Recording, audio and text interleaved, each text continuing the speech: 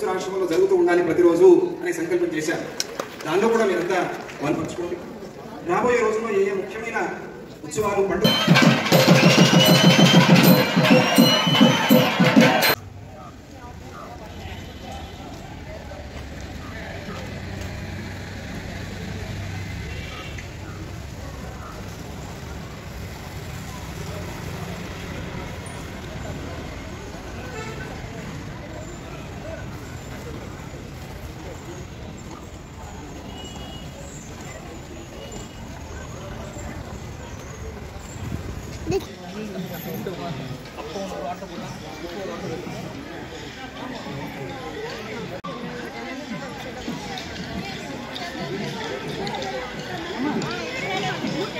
ಬೇಡ ನಾನು ಕೆಲಸ ಮಾಡೋದು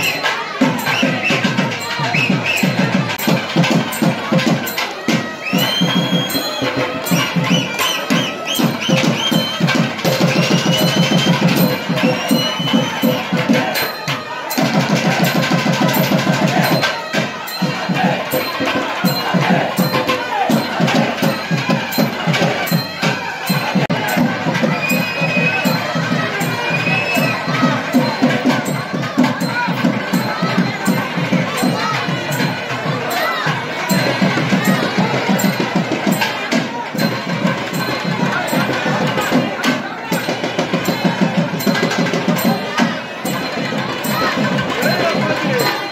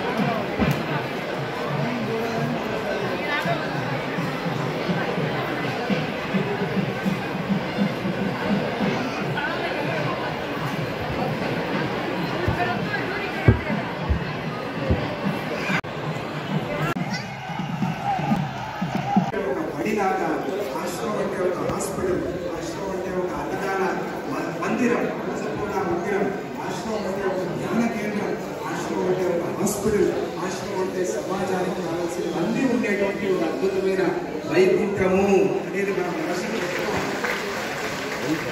అన్ని కార్యక్రమాలు రాష్ట్రంలో మన వారు వంద సంవత్సరం అంతా కూడా ఏదో ఒక కార్యక్రమం మైసూరు ఆశ్రమంలో జరుగుతూ ఉండాలి ప్రతిరోజు అనే సంకల్పం చేశారు. దానిలో కూడా మీరంతా పాల్పంచుకోండి. రాబోయే రోజుల్లో ఏ ఏ ముఖ్యమైన ఉత్సవాలు పండుగలు ఉన్నాయో వాటిలో కూడా పాల్పంచుకోండి. ఇక దగ్గరలో రాబోయేది నాకు కనిపిస్తూ ఉన్నది దత్త వెంకటేశ్వర స్వామి యొక్క రజతోత్సవం కనిపిస్తోంది. అతి త్వరలో మనకు సేవ కావచ్చు. ఇటువంటి సేవలో పాల్పంచుకునేందుకు ఇప్పటి నుంచే మనస్సును మనం సంకల్పం చేసుకుంటాం మీ మీ ఆశ్రమం